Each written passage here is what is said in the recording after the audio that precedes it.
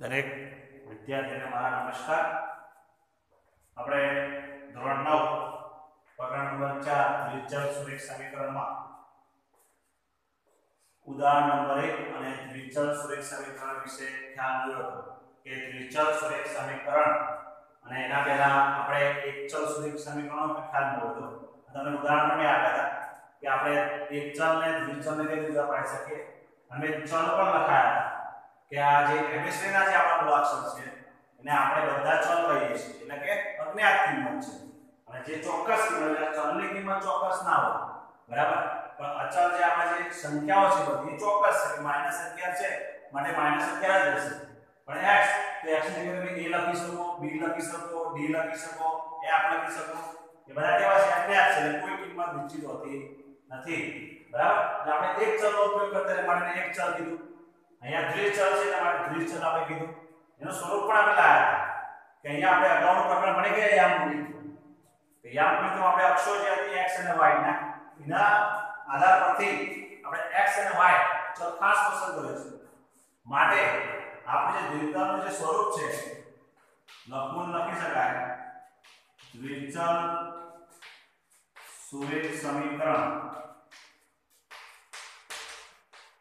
કયું છે આપણું ax by c 0 x એ ચલ છે y તમે કહો a પણ ચલ છે b પણ ચલ છે પણ અહીંયા a અને b. અને c. એ આપણી શું છે વાસ્તવિક સંખ્યાઓ છે a, b અને c. એ લખી દો તમે કૌંસમાં જ્યાં a, b અને c. એ શું છે આપણી વાસ્તવિક સંખ્યાઓ. બરાબર?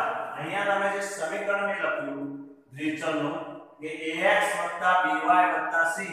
તમારા મનમાં પ્રશ્ન ઉદ્ભવે કે x અને y તો ચલ છે જ. અને abc પણ abc ના અક્ષર છે. પણ એટલા માટે હું લખું છું કે જ્યાં a અને b અને c એ વાસ્તવિક સંખ્યાઓ. વાસ્તવિક સંખ્યાઓ આપણે ખબર છે કે વાસ્તવિક સંખ્યા એટલે કે બધી સંખ્યાઓનો સમાવેશ. જે કરતી હોય, બધે બધી બધી રૂટ પણ આવે, અપૂર્ણાંક પણ આવે, પૂર્ણાંક પણ આવે પોઈન્ટ વાળી પણ આવે, એ બધી સંખ્યાઓ આવી જાય એટલે કે સંખ્યાઓ કીધી આપણે વાસ્તવિક સંખ્યા બધી સંખ્યાઓનો સમૂહ એટલે આપણે વાસ્તવિક સંખ્યા કીધી. હવે એનો સમીકરણ યાદ રાખવાનું છે કે x ના આગળ a છે એટલે કે x ના સાથે a જોડાયેલો છે એટલે x નો સહગુણક y ના જોડાયેલો છે એટલે y નો સહગુણક અને c આપણે કીધું છે. શું કીધું છે? અચળ પદ એટલે x નો સહગુણક આવ્યો હોય તો એ લખાય તો તમારે કોઈ પણ સમીકરણ માંગ્યું હોય તો x ના અંદર જે હોય એ સહગુણક એટલે x ના આગળ કિંમત એની કિંમત પૂછે તો. x ના આગળ એની કિંમત y ના આગળ જોડાયેલો b કિંમત અને c એટલે જે આપ્યું હોય તો એ c ની કિંમત. બરાબર? અગાઉ ઉદાહરણ આપણે જોઈ લીધું. ચલો હવે બીજું ઉદાહરણ નંબર 2 છે. આપણું કે નીચે દર્શાવેલ દરેક સમીકરણને દ્વિચલ સુરેખ સમીકરણ સ્વરૂપે દર્શાવવાનું છે. એટલે આપણે આ રીતે દર્શાવવાનું છે. દર્શાવી પહેલું આપણે કિંમત છે. x 5 હવે આપણે સમીકરણ જ જોવાનું. સમીકરણમાં x છે, y છે, બરાબર? અને c છે. બરાબર? એનો મતલબ x હોવા જોઈએ, y હોવા જોઈએ c હોવા જોઈએ. ચલો, x છે. આ ચાર પર પણ છે. ચલો વગરનું પણ y નથી. તમે અગાઉના ઉદાહરણમાં ચર્ચા કરી કે જે પદ ના હોય તમારે એને 0 કરીને એના સાથે લખવું કઈ રીતે પહેલા લખીએ પેલા સમીકરણ લખી ax by c બરાબર 0 ચલો x તો છે જ ચલો આનાથી હમણાં ખાલી રાખો માઇનસ 5 છે બરાબર ને આ બાજુ આવશે પ્લસ 5 થશે બરાબર 0 થઈ ગયા માટે અહીંયા 5 બરાબર 0 હવે આ પદ અહીંયા નથી કયું y વાળું અને y તો લખી શકો. બરાબર? પણ તમારે b જગ્યાએ લખવી છે. બરાબર? તમે આનું આગળ પાછું મેળવવું છે. તો ધ્યાન રાખવાનું કે તમારે y લખવા છે માટે તમારે b ની કિંમત કેટલી લખવાની? શૂન્ય. એટલે આપણે શૂન્ય કોઈ પણ ચલ સામે સંખ્યા સાથે ગુણો. તેનો જવાબ 0 થઈ જાય. તમે લખવું છે તો 0 ઇન્ટુ લખશો. બરાબર? ઇન્ટુ એટલે ગુણાકાર. ચલો આપણે ગુણવાઈ જોઈ લો. ax તો ax છે તમે તો એની તમને એ પણ કીધેલું છે. કે કોઈ પણ સહગુણક એકલો હોય એના આગળ કશું ના હોય, તો એ સમજી લેવાનું કે એક જે છે, એના ગુણાકારમાં પણ હોય છે, એના ભાગાકારમાં પણ હોય છે. અહીંયા એક હોય છે. અને કોઈ પણ સંખ્યા કે ચલને એક સાથે ગુણશો તો એનો જવાબ પાછો મળશે. 1 ગુણ્યા x એટલે x. બરાબર? અને કિંમત નથી માંગી આપણે દિલચસ્પ છે? મારે સમીકરણ દર્શાવ્યું આપણે. a ની કિંમત 1 એટલે ax પછી આ 0y એટલે આ ટોટલ 0 થશે, એની પાછું મળશે. એટલે આપણે દિલચસ્પ રીતે કે x 0 y 5 બરાબર આપણું દિલચસ્પ સુરેખ સમીકરણમાં દર્શાય. ચલો હવે બીજું. y બરાબર 2 બરાબર? ચલો શું કહે છે? y બરાબર 2 તો આપણું સમીકરણ છે. ચલો લખીએ પહેલા. 2 ના માઇનસ 2 બરાબર કીધું. તો પહેલું પદ ખાલી રાખો. y 2 બરાબર 0 કયું પદ નથી આપણું? Y વાળો છે, અચળ પદ છે. X વાળો નથી. તો શું લખશો 0 x. એ પણ દર્શાવી દીધું આપણે. એના પછી બીજું છે આપણું. ચલો 2x બરાબર 3 લખીએ 2x 3 ને આપણે લઈ નાખો તો પણ ચાલશે 0 ચલો લખીએ પહેલું 2x વાળો. પછી નથી તો ખાલી માઇનસ 3 બરાબર 0 ચલો અહીંયા નથી તો શું લખશો 0y કયું નથી? Y વાળું એટલે માટે 0y પેલી બાજુ જુઓ હવે ચોથો 5y બરાબર 2 2 ને આગળ લાવો એટલે માઇનસ 2 બરાબર 0 ચલો જોઈએ 5y માઇનસ 2 બરાબર 0 ચલો કયું નથી આપણો x વાળો નથી મારે શું લખશો આપણે 0x હવે આપણે આને ન લાવો તો પણ c ની કિંમત આપણે પ્લસ ના લખાય માઇનસ લખાય બરાબર અહીંયા પ્લસ છે આપણે સૂત્રમાં x સમીકરણમાં પ્લસ માઇનસ ગુણાકાર શું થાય? માઇનસ બરાબર? હવે આપણને ખબર પડે કે મેં શું કીધું કે જે પદ નથી આપ્યું ને 0 સાથે ગુણીને કોઈ પણ સંખ્યાને કે ચલને શું થાય? તો જવાબ 0 આવે. એટલે જો જે પદ નથી આપ્યું, એને મેં 0 x લખે છે. અહીંયા 0 x એટલે 0 કે આ ટોટલ 0 થશે. તમારે જે ઓરિજિનલ જે તમે કિંમત આપી છે, એની આપણને પાછી મળશે. હવે આપણે સ્વાધ્યાય લઈએ છીએ 4.1 બરાબર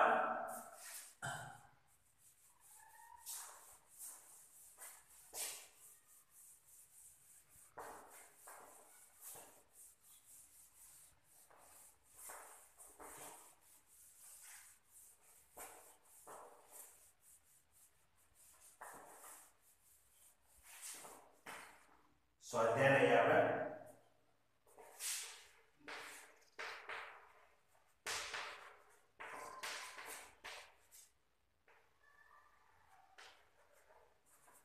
ચલો સ્વાધ્યાય લઈએ દાખલા નંબર એક છે પહેલો આપણો નોટબુકની કિંમત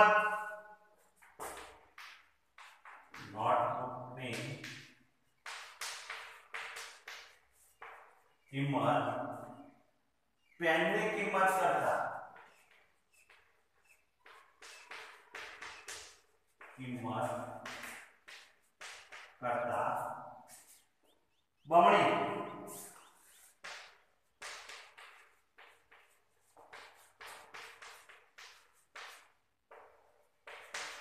બમણી છે. બરાબર? આ વિધાનને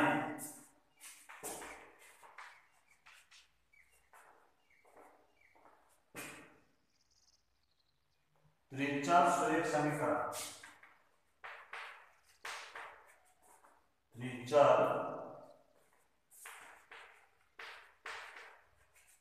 સુરેખ સમીકરણ સ્વરૂપે દર્શાવો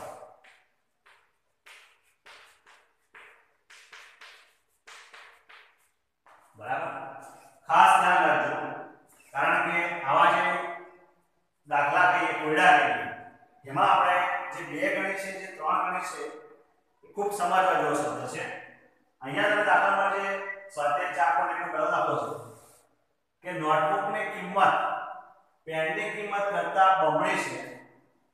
આ વિધાનને આપણે દ્વિચલ સુરેખ સમીકરણમાં દર્શાવશું. હવે ધ્યાન રાખજો અહીંયા કે આપણને નોટબુકની કિંમત નથી આપેલી, કે પેનની કિંમત પણ આપેલી નથી. તો આપણે શું કરશું? કઈ રીતે કરશું? તો આપણે અજ્ઞાત છે બંને. નોટબુકની કિંમત પણ નથી, પેનની કિંમત પણ નથી. તો આપણે બંનેને પહેલા તો અજ્ઞાત છે માટેને અજ્ઞાતના સ્વરૂપ આપણે સુધારીએ છીએ. અજ્ઞાત હોય તો આપણે એબીસી ના કોઈ શબ્દ ગમે તે કાઢી શકીએ બરાબર? અહીંયા આપણે ધારીશું કે નોટબુકની કિંમત આપણે x લઈ લઈએ અને પેનની કિંમત આપણે y લઈ લઈએ. બરાબર? પછી આના વિશે તમે બમણી કરી દીધી તો આપણે આપણે ધારી લઈએ કે નોટબુકની કિંમત ધારીએ પહેલા. ધારો કે નોટબુકની કિંમત કેટલી છે x રૂપિયા છે ધારે x અને y ધરો છે પછી બીજું પેનની કિંમત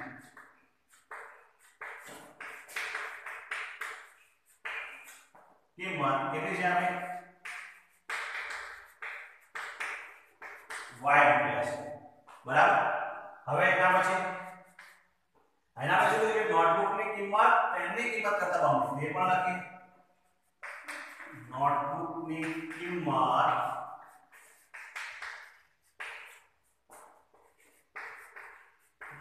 પેનની કિંમત કરતા બમણી છે. હવે એટલું ધ્યાન રાખજો. હું તમને એક ઉદાહરણ કહું. કે આપણે બે વિદ્યાર્થી લઈએ છીએ. બે વિદ્યાર્થી. બરાબર? ચાલો.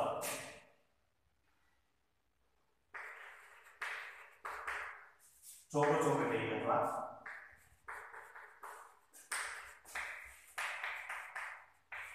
બરાબર? હવે આપણે ધ્યાન રાખજો, કે એવું કીધું છે કે છોકરો અને છોકરી આપણે વજન લઈએ. તમને એવું કીધું છે કે અહીંયા છોકરાનું વજન અથવા છોકરીનું વજન આપેલું છે. છોકરીનું વજન તમને કેટલું આપેલું છે? 10 છોકરીનું વજન 10 કિલો અથવા વધારે લઈએ. 30 કિલો છોકરીનું વજન આપેલું છે. બરાબર? પણ છોકરાનું વજન, છોકરીનું વજન આપેલું કેટલું 30 કિલો. તો હવે આ શબ્દ લઉં છું કે છોકરાનું વજન એ છોકરીની વજન કરતા 4 ગણું છે. ધ્યાન રાખજો, ફરીથી શબ્દ લઉં છું. અથવા લખું છોકરાનું વજન. છોકરીની ના વજન કરતા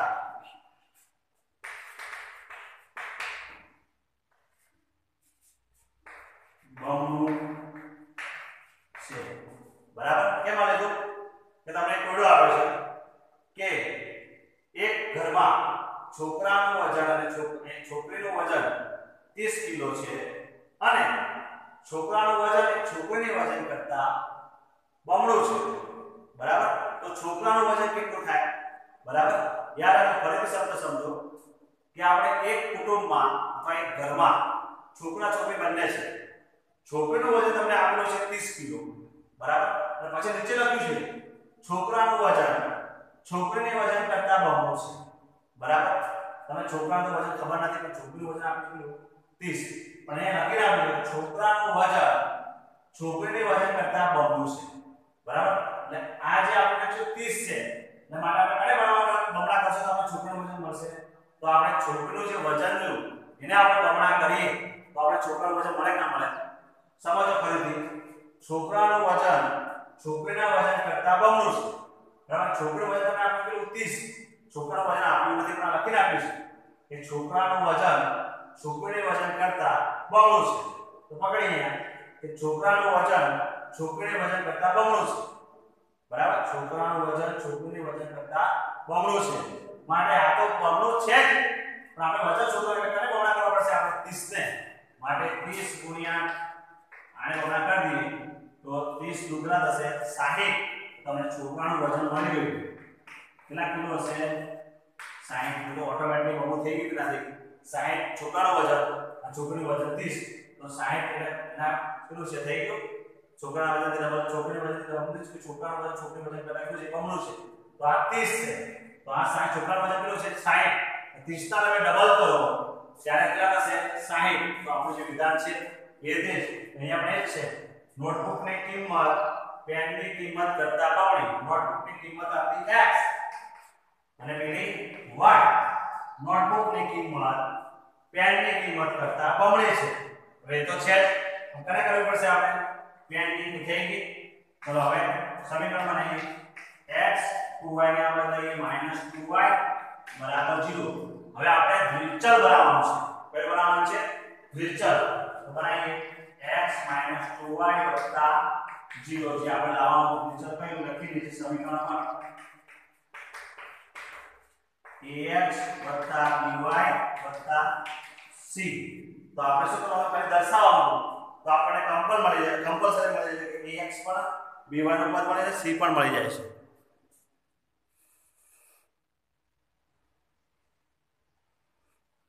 બરાબર?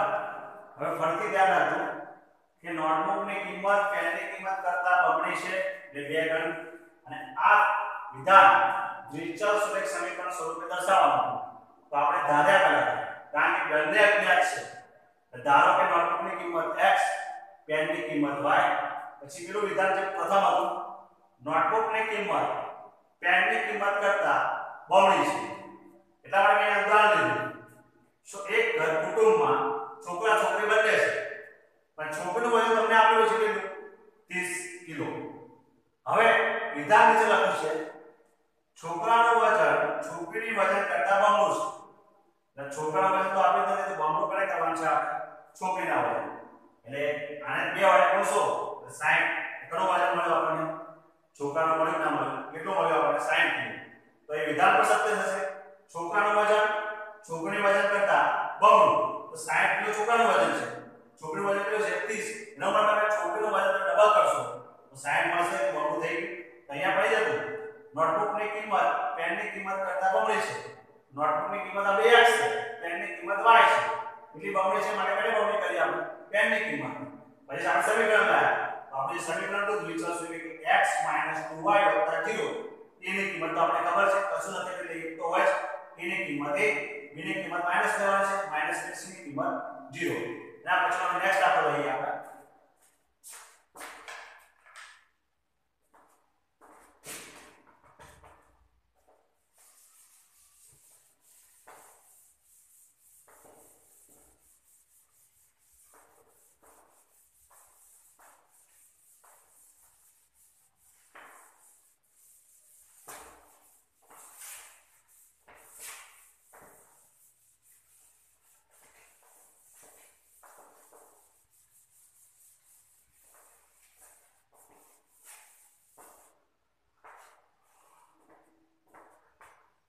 દાખલા નંબર 2 આપો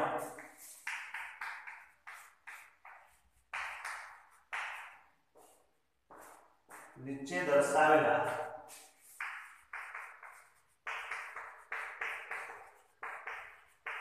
વિચાર સુરેખ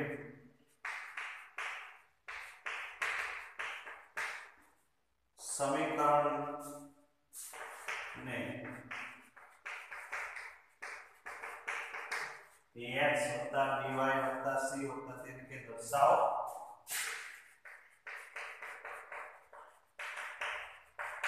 અને દરેક કિસ્સામાં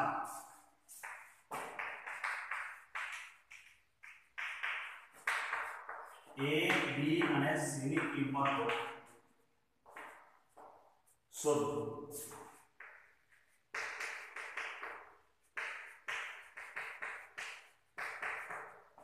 બરાબર ચલો પહેલો દાખલો લઈએ અથવા એક બે ત્રણ દાખલા સાથે લઈએ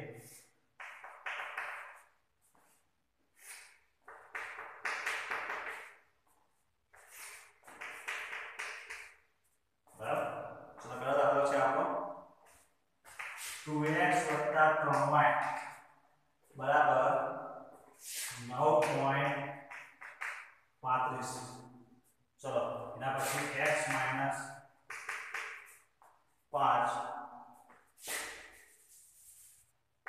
x y બરાબર પાંચ પછી માઇનસ દસ બરાબર જીરો માઇનસ ટુ એક્સ વત્તા ત્રણ વાય છ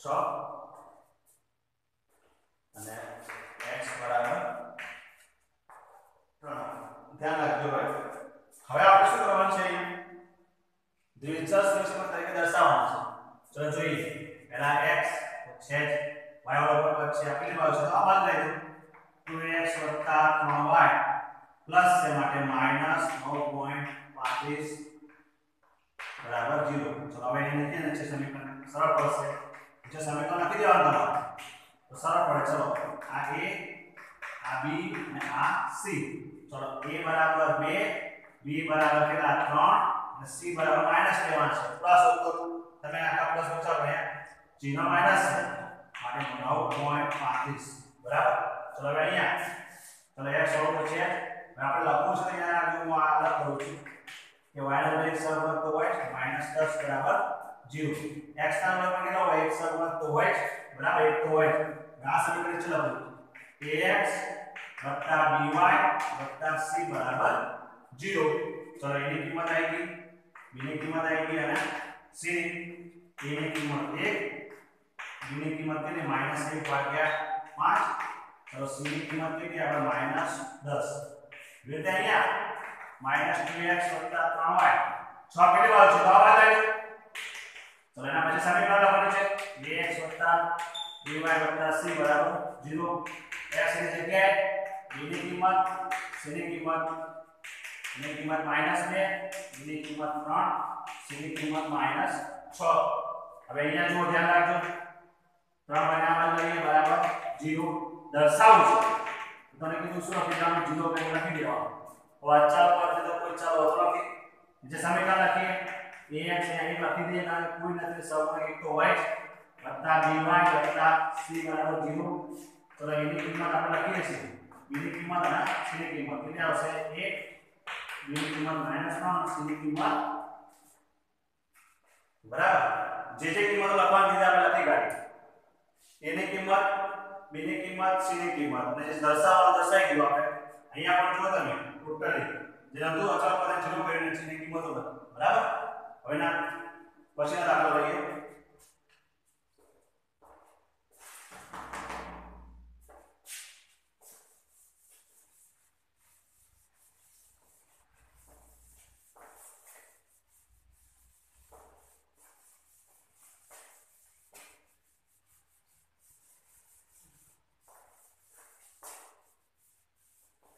અને પછીના પણ ચાર દાખલા સુધી સાથે લઈએ ચલો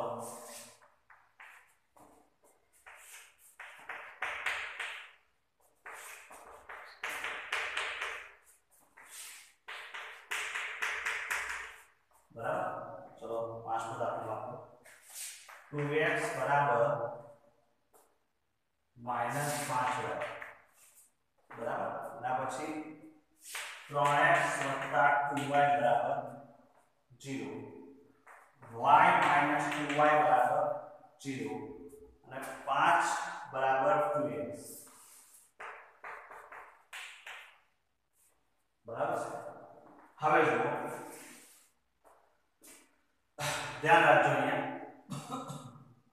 2x માં બરાબર માઇનસ 5y છે તો આપણે પેલા માઇનસ 5y ને હવે લઈએ કારણ કે આપણે પહેલું x પછી y અચળ પદ નથી આપણી માટે 0 પહેલે લખી દીધું બીજું સમીકરણ લખીએ ax by c બરાબર 0 દેખાય આવે x ની જગ્યાએ c ની જગ્યાએ 2 b ની કિંમત 5 અને c ની કિંમત 0 તો અહીંયા દાવા પર એક y બરાબર નથી માટે 0 તો બરાબર દેવાનું વત્તા 2 બરાબર 0 સમીકરણ લખવાનું છે વત્તા c બરાબર 0 ચલો a ની કિંમત 3 b ની કિંમત 0 અને c ની કિંમત 2 થઈ ગયું હવે અહીંયા જુઓ x વાળો પદ નથી તો 0x y 2 બરાબર 0 તો ax by અહીંયા કેટલા લખવા પડશે 1 0 બરાબર ચલો a ની કિંમત 0 b ની કિંમત 1 અને c ની કિંમત આપી છે